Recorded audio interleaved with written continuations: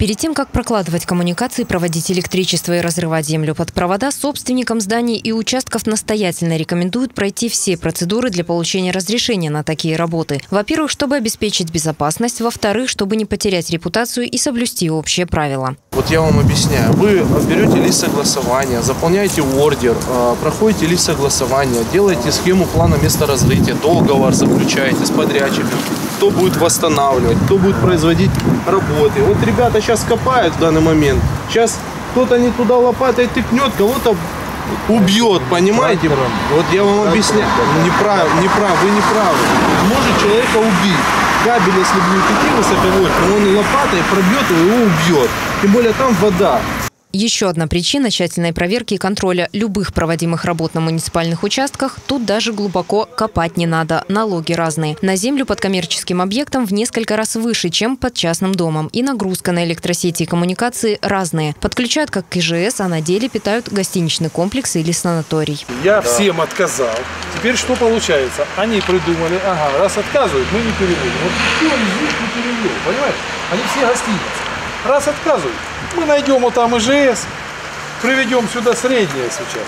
А потом нам не надо ничего жить. Мы пойдем в Оргаз, получим тех условия, труба вот она. И поднимем газ. Зачем нам Сергеев? Он нам рыть не дал. Нет, подождите.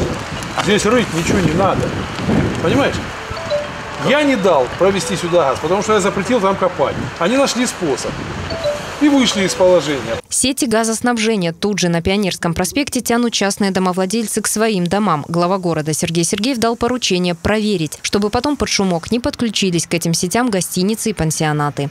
Мы э, сейчас вас просим, пожалуйста, э, Закрываем. закрывайте, да, и будете получать в процессе э, очередь. Процессы как очень. Вы идете в МФЦ, подаете заявку, Полный перечень документов всегда подскажут специалисты в МФЦ. По факту нарушения на земельном участке возле базы отдыха «Лесные дали» на Пионерском проспекте 5 специалисты управления муниципального контроля составили протокол об административном правонарушении. Похожая история – разрытием в микрорайоне Алексеевском. Дорога на улице Ореховой и Рождественском проезде просто перестала существовать из-за стройки рядом. Построить построили, убрать за собой забыли. Оставив от асфальтовой дорожки развалины и грязь. Коммуникации прокладывала краснодарская фирма, трубы проложили и по завершению работ некачественно восстановили дорогу. Засыпали ямы землей, прошлись катком и положили новый асфальт, который через некоторое время просел. Претензии компании администрация уже направила. Со дня на день они должны взяться за восстановление. Такие проверки пройдут везде в городе и сельских населенных пунктах. А делаться халатным отношением к работе и наглостью по отношению к жителям города не получится. Каждого такого нарушителя правил благоустройства обяжут переделать некачественную работу. В противном случае застройщики, хозяева, собственники и арендаторы дождутся такого же отношения в ответ.